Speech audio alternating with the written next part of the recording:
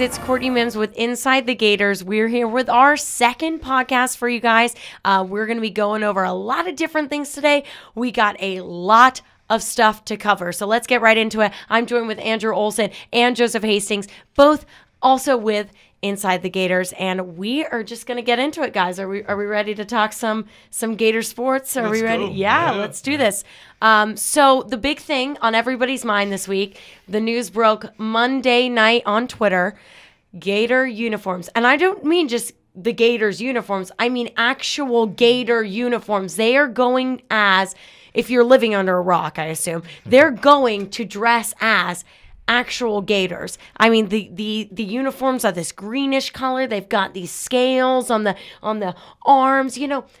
And personally, I don't know how I feel about them. I know the fan base is split. I know it's a little bit strange, but I don't know how I feel about them. What do you guys think? What's what are your thoughts?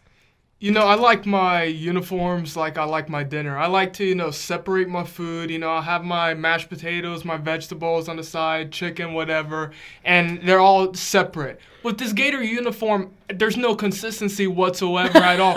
It's all jumbled up. I don't know what the pattern is. I don't know what's going on. I see blue, I see orange, I see green. I don't know. There's different types of green out there. There's the reptilian scales. I just don't know what to make with it. I like the mentality, you know, coming now, trying to embrace that pride of being Gators, you know, being in the swamp and Yeah. trying to be intimidating towards your opponent. But come on, you could have gotten a better uniform than that. Just my opinion. Okay. Uh, I'm not feeling it. Um, Andrew's like, I'm just I'm not feeling it, guys. though I'll say one thing: I'm glad they did not jump on the, the ever trendy black uniforms. That Oh, seems I like, know. Seems like every school has a blackout uniform. Yeah. So I'm glad they weren't black. They're a little too cluttered for my taste. I like the clean, traditional, and Hmm. Nike has done um, gator skin stuff before. They Yeah. did a they did an alternate uniform. I think 2010 season for Georgia game that had kind of some of the alligator scales to it. That was a much cleaner look, in my opinion. You know, I, Hmm. I think the Gators should just stick to you know orange, blue, and white.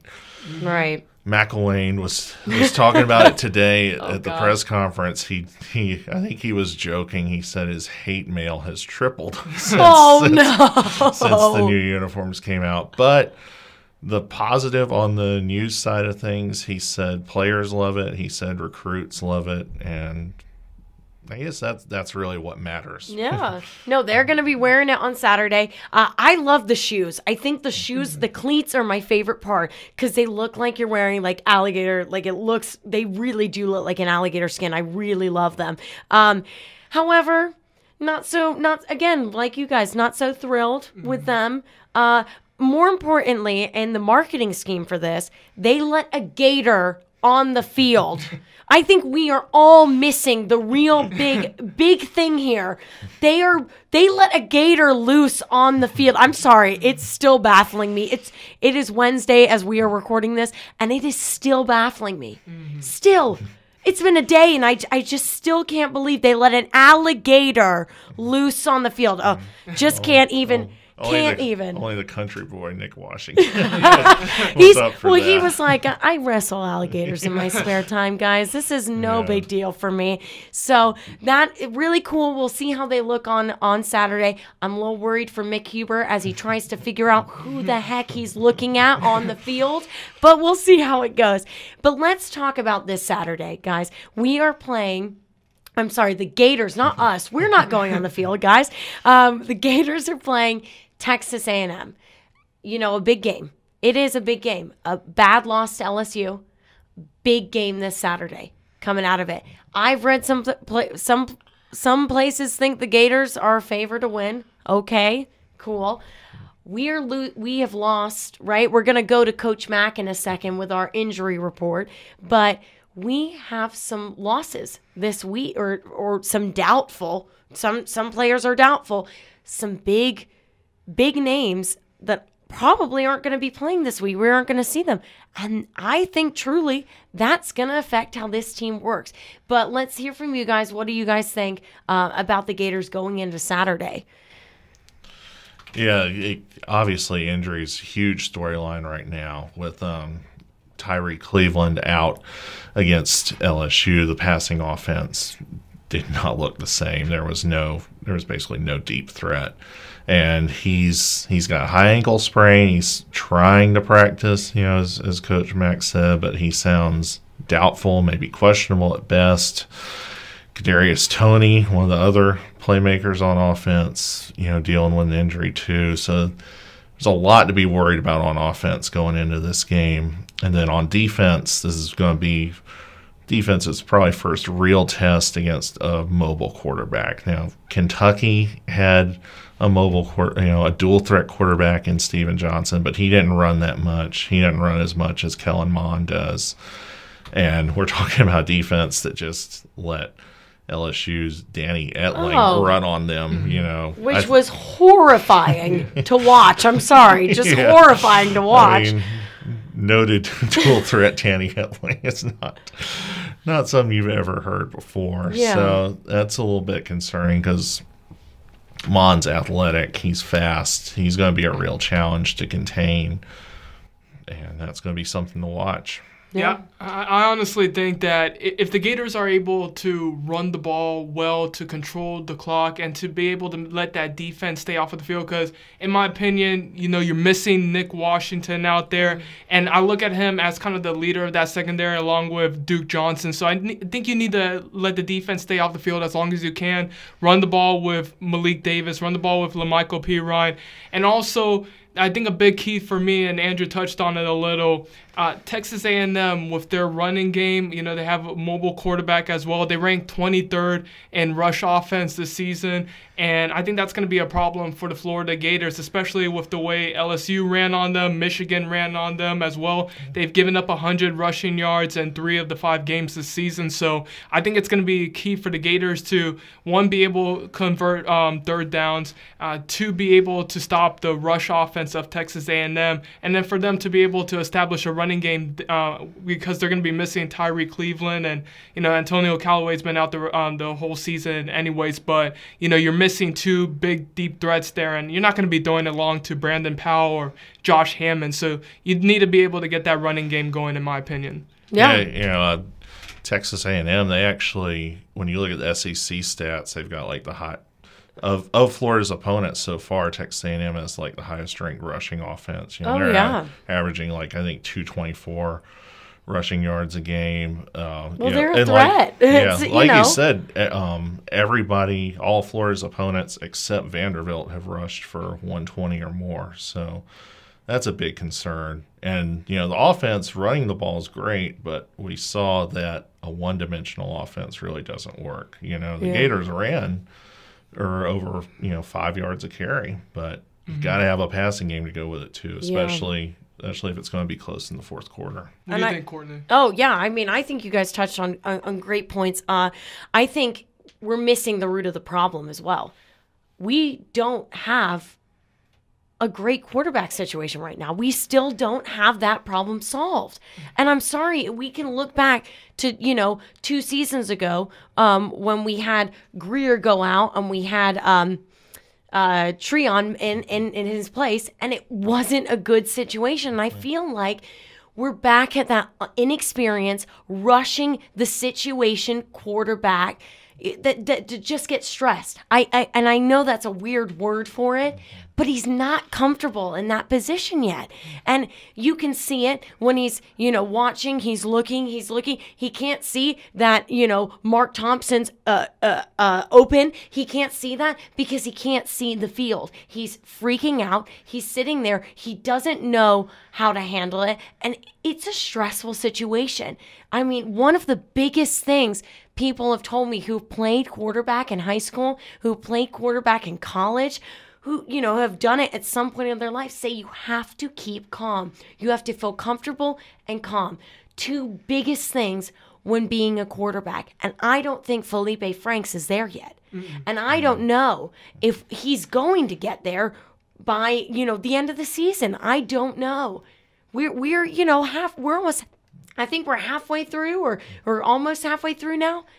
You you know we we we need a quarterback that's gonna feel comfortable, and that's what I think is a big root of our offensive issues. a big root. Yes, we can talk about the passing game, the running game, getting the running game going. But how do you get the running game going? You have a leader who is who is comfortable and he knows how to see the field. That's my biggest thing right now with the Gators. And once we fix that, yeah, we can start breaking down passing it. We can start breaking down uh, getting the running game going. But that's the root of the issues. Is really what I, I truly believe is is where the issues lie. You know, is in that quarterback situation. And you know what's what's interesting is we haven't seen Malik Zaire since, Right. since Michigan. Right. The offensive line was terrible that day. I don't know. I don't know if Tim Tebow could have played behind the offensive line that day. It might be unfair to hold that one game against Zaire, and with the problems that Franks is having, Yeah. maybe you give Zaire a second chance. You know, he's had another month here to learn the playbook. You know, and he's ready to play. He's hmm. ready to play. This is a guy who's come to the University of Florida thinking he is going to at least play some, at least play something. You know, hmm. this was a guy who came here ready to play. And I think, like Andrew just said, you don't hold that game against him. Mm-hmm. That that offense was terrible. Mm-hmm. I don't even think you can. I thought that was a practice game. Really, I think we should all consider that a scrimmage, right? No, but really, this is a guy who came to play, and I want to see him back, and I want to see him back leading that offensive line. Now, maybe he sucks, but maybe he does some good things. Maybe he does what we need. It's That's worth a shot. At yeah, This point. yeah, Yeah. honestly, I suggested it last week. I felt like, you know, with the experience that he has over Felipe Franks, look, Felipe may get there at some mm-hmm. point, and it is going to take game experience. But if you have, if you feel confident in this team and for Malik Zaire to take over as a veteran and le- be able to lead the offense down the field somewhat, because we haven't been able to do anything offensively with Felipe Franks at the helm. So I feel like if you can put in Malik Zaire, get that veteran leadership there, maybe he gives you a different dynamic to that passing game. Maybe be able to get outside the pocket, make some plays. But uh, as of right now, if it, if it's stagnant this week against Texas A&M, you're going into a bye week. Man, when you come back against Georgia, you, you know I don't know if you're gonna go back to Felipe Franks. You may have to go back to Zaire. yeah. I totally, totally agree with every, um, with everyone's comments. Honestly, I, I think we're all in agreement here. We all have similar ideas. Um, but we're getting a, a- up about 12 minutes right now. So I'm going to kind of roll us out of this podcast real quickly. But let me ask, because I'm going to do it every week so you guys can get annoyed about it. What is everyone's predictions for this game? What What's your score predictions? You know, what are, what are some predictions for this game? Uh, last time I picked Florida to lose was the Michigan game, but yeah, I'm doing that that again. Oh, man. Um, I think Texas A&M's just too talented on both sides of the ball, and Florida's just got too many too many injuries. I'm saying uh, 31-21 A&M. Wow. Yeah. Okay. Uh, I'm going with Texas A&M in this game too. I'm gonna make it 27 to 24. I think it's gonna be a close game down the line, but I think Texas A&M is just gonna make a, one more play than Florida. Uh, yeah, I, I agree with you guys. I'm definitely picking Texas A&M as well. I feel bad saying that, but I do. I think you're, you guys are right. They're they're more talented on both sides of the ball, and with our injuries or our doubtful people who are playing, really, really doubtful that they're not not going to play. I don't know if that's a double negative, but you know, uh, I really do think Texas A&M is going to come out on top. Don't know if it's going to be by maybe 31. I don't know if I feel that. I'm going to go middle of the road. I'm going to go 24 for Texas A&M. I'm going to go Oh, I don't want to be horrible and people to hate me, but I'm going to go with maybe like 17 for Florida. Is that bad, guys? I don't know, but that's what I'm that's what I'm thinking. So, um but it was a great uh, blah, blah, blah. Can I talk today? No, I can't. Uh, thanks, thanks for listening, everybody. Um, what's our our Twitter handle? Shout out really quickly. If you want to keep the conversation going, you can hit us up at Joseph A. Hastings. By Andrew Olson. and at Mims Courtney. So please uh, tweet at us, get angry at us, you know, tell us we're wrong, tell us your predictions, uh, all of those things. And if you want to, um, also, keep the conversation going. You can post on our discussion boards on InsideTheGators.com. You can subscribe to this podcast. You can let us know in the comment section. Whatever you want to do, we love hearing from you guys. And keep listening to us every single week. Uh, we really do appreciate it. So let's Have a great rest of the week. We'll see you guys next week, and let's uh, see what the Gators do on Saturday. Right? We'll see. We'll see.